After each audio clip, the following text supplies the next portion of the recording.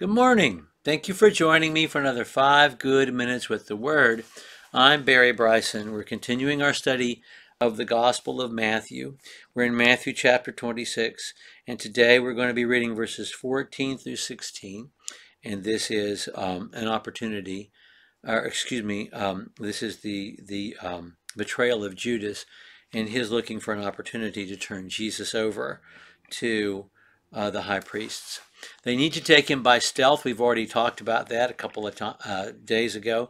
They need to take him by stealth because he still has the favor of the people. And they need an insider to accomplish this, and one presents himself to them today. So let's read verses 14 through 16. Then one of the twelve, named Judas Iscariot, went to the chief priests and said, What are you willing to give me to deliver him up to you? And they weighed out to him thirty pieces of silver. And from then on, he began looking for a good opportunity to betray him. There's so much here.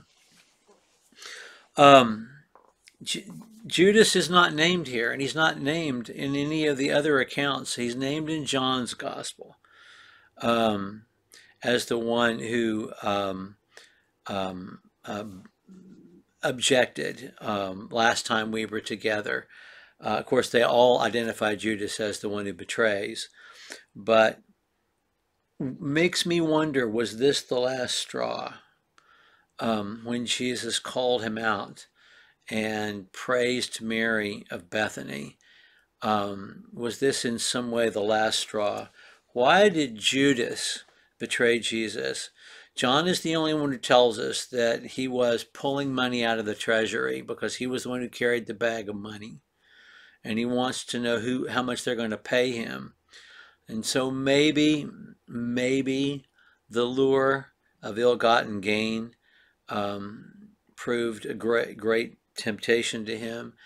Um, maybe, maybe he's disappointed in Jesus. Maybe his feelings are hurt. The thing is, we don't know. We're not told. We can only speculate. And, and we, we talked about who Judas even is. Is he a man of Kerioth, which would make him a Judean, not a Galilean? Does he feel like an outsider?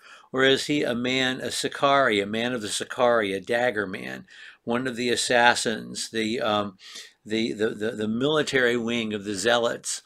Um, and he, he's understanding that Jesus is not going to be the Messiah he expected him to be. We're just not told. But there are many reasons to contemplate, and I think contemplating them is good for uh, is good for us to do. is a good exercise because because it teaches us not to be disappointed when Jesus doesn't do things exactly the way we want him to. Because we all bring our expectations, many of them unrealistic, to the gospel, to God, to Jesus as our Savior. He is who he is, and who he is is perfect. He's perfect before God, and he's perfect as our Savior. He is exactly the Savior we need. And so, whatever it is he does or says, it's the right thing, whether we understand that or not. And in this moment, Judas doesn't understand it at all. 30 pieces of silver was the traditional price of a slave, the price of a human life. It's also the exact amount that is mentioned in, in the prophet Zechariah, in Zechariah chapter 11, verse 12.